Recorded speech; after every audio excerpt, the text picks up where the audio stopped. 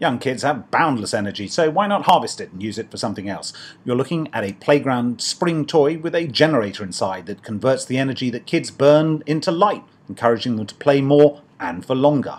What we, we, what we could do is not only to use lights, but sound, Wi-Fi even, we could provide Wi-Fi connection on the playground with the energy which kids are generating.